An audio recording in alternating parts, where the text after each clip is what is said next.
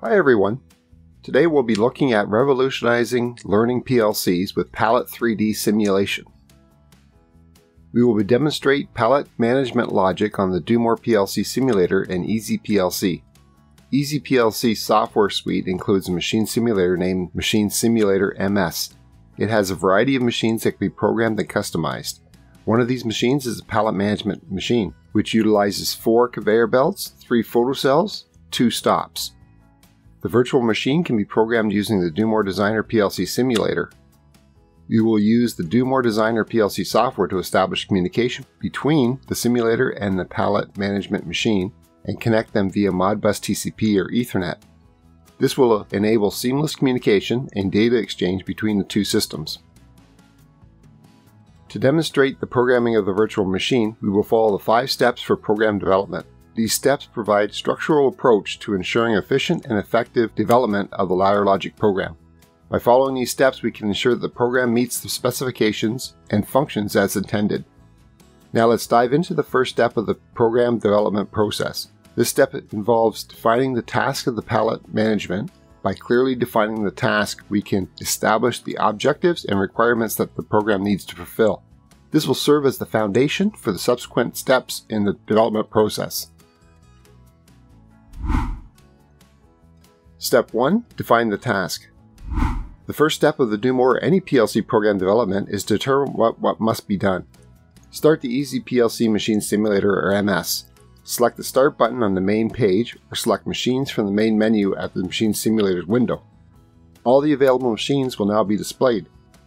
Click on the 01A Pallet Management. This is the example we will be programming. To the left of the screen, information will be displayed on how the pallet management machine needs to function. The system has four conveyor belts, three photocells, and two stops. The object is to manage the belts and the two stops to load the pallets with boxes at the loading station. The pallets in the loading station must be isolated to avoid being hit by the other pallets in the line. The PLC must request the box loading once the pallet is in the loading station. The box can take up to 1 to 7 seconds. Once the pallet is loaded, it must be released to the output belt, and the cycle repeats. To save energy, the conveyor belt should not be running continuously. They must be deactivated at necessary moments so that not to suffer wear and tear or extra energy. The Pallet Management Simulator has a demo mode for this built-in machine. This will allow you to watch the operation of the conveyors, sensors, and stops. Select the demo mode for the pallet management. The demo mode will show you the basics of the pallet management operation. Move around the 3D environment. The icons on the top of the window will allow you to move around this 3D environment. The first icon is a default selection. This will enable you to move around without bumping into the components. The last icon will automatically show you around this virtual environment. First person mode will mimic a person in your 3D learning world. The third person will show you an operator and their relationship to the pallet management machine. Once we understand what must be done, we can move on to the next step in developing the Do More PLC ladder logic.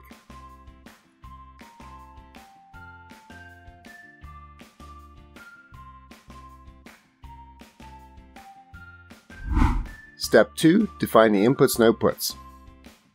Start the pallets management in start mode.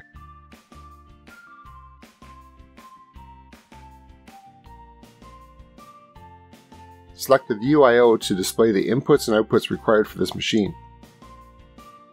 The Pallet Management Machine Simulator will require 7 digital outputs and 3 digital inputs. Click on the digital outputs will activate it. The input photocells can then be seen responding to the sensors. Spend time understanding the I.O. inputs and outputs functions fully. You can move around in this 3D environment and see the I.O. and items from different angles. The reset button on the bottom of the machine simulator window will reset the scene back to the start. The Do More series of PLC uses a fixed Modbus memory area. This area can be seen in the following chart.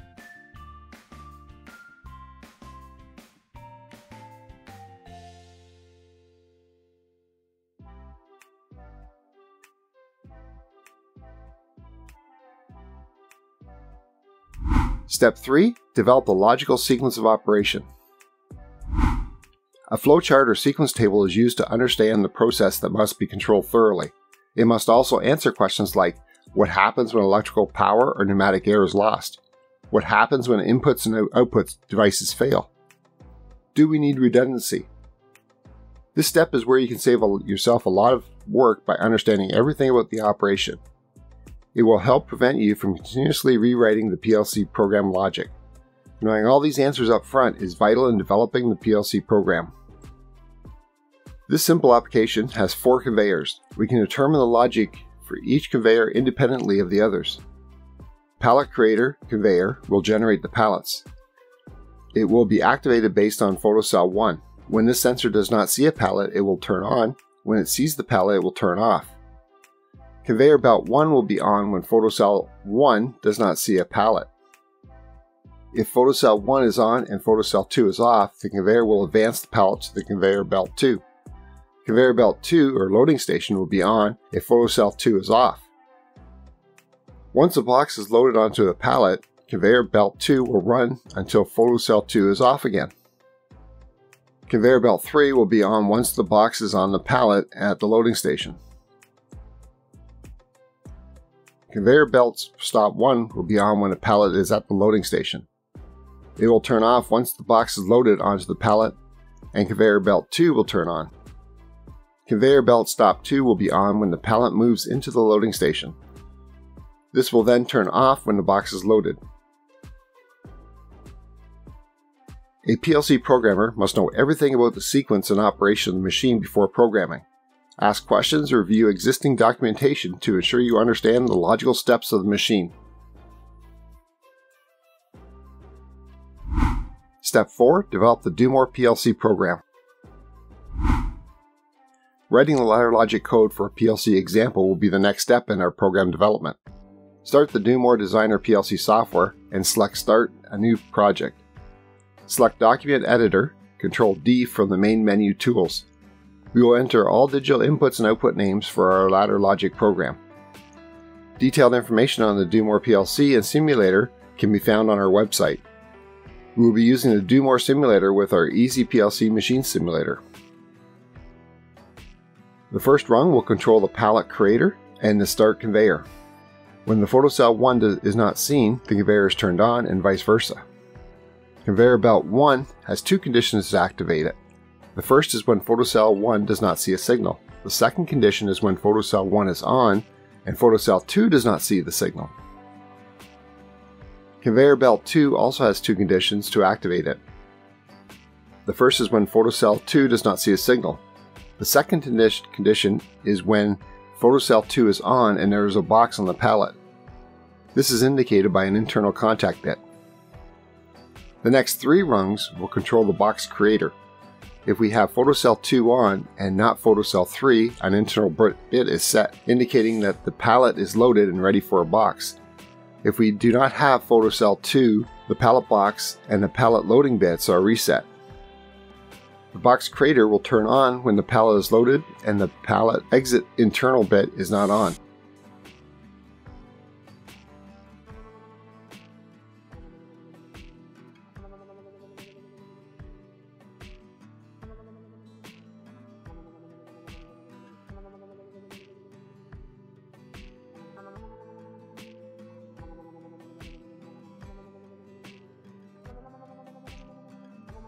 Rung 7 will control the box on pallet internal bit. This is set when we have photocells 2 and 3. Conveyor belt 3 is controlled by the internal pallet exit bit. A timer controls the pallet exit bit. This bit is set on for pallet when the box is at the loading station. The timer is set for 3 seconds to ensure enough time to exit the loading station. This bit will reset after the time delay. Note that you want to minimize the timers you use in a conveyor program. A sensor is always better than a timer. The conveyor belt stops are used to align the pallet in a station. Conveyor belt stop 1 is on when we do not have photocell 1 and photocell 2. Conveyor belt stop 2 is on when we do not have photocell 2. This is the end of our ladder logic program. Save the program, transfer the program to the DoMore simulator.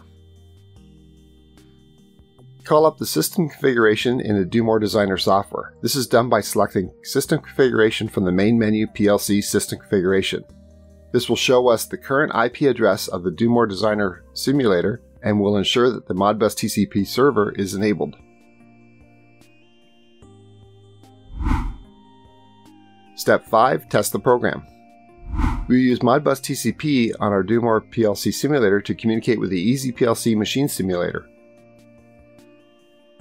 Call up the pallet managing machine simulator in start mode. The status of the machine simulator will be at the bottom of the screen. Currently we have no PLC connected.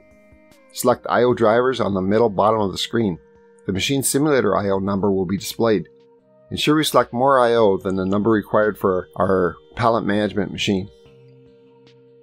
The Easy PLC driver is selected by default. Under the driver pull-down menu, select Modbus driver. This driver will communicate Modbus TCP or Ethernet and Modbus RTU serial. Under the driver pull-down menu, select Modbus driver. Select the Configure button. We can now enter the information for our Modbus driver. Select TCP IP. This means the Ethernet port on our computer will communicate to the DoMore PLC simulator. The digital inputs from MS to the DoMore will start at MC1. This will start at address 0 due to the offset of 1. Digital outputs from MS to the DoMore PLC will start at MI1. This will begin at address 0 due to the offset of 1. Select the OK button. You will now see the inputs and outputs specified for our Modbus driver. We can manually assign the driver outputs to the PLC inputs and the driver inputs to the PLC outputs. However, the automatic assignment works well and will save you time. Select Automatic Assignment from the driver options in the main menu. This will automatically assign the PLC I.O. to the machine simulator I.O. Select Start Driver and exit from the main menu. On the bottom left side of the window, the driver communicates to the DoMore PLC simulator with the green light. Select View I.O. to know the input and output status of the machine simulator. Ensure the DoMore PLC simulator is in run mode. We can see the operation of our pallet management machine. The digital inputs and outputs of the MS will correspond to the PLC controller. Using the data view window of the DoMore Designer programming software, we can also watch the inputs and outputs operate. Using Machine Simulator to test the program will ensure that our program works. Troubleshooting is easily done without damage to any physical hardware. You can practice your modification and debug by modifying the pallet management machine and do more program in the following way. Add a control panel with start-stop buttons. Calculate the rate of pallets with boxes coming out of the pallet management machine in parts per hour. Add an exit sensor instead of the timer in our program to ensure that the box with the pallet is out of the machine. Let me know how you made out in the comments below. If you enjoyed this video, please hit the like button below. If you have any questions about the video, please leave a comment below and I'll do my best to answer it. If you want more information about us or you want our free ebooks on numbering systems or robust data logging, please click on the link in the description below to get it. A new video is put out every Monday, so make sure you hit the subscribe button to get more videos like this in the future. Remember to click the bell beside your subscription to actually receive those notifications. Thanks so much for watching. I'll see you next time. Stay safe.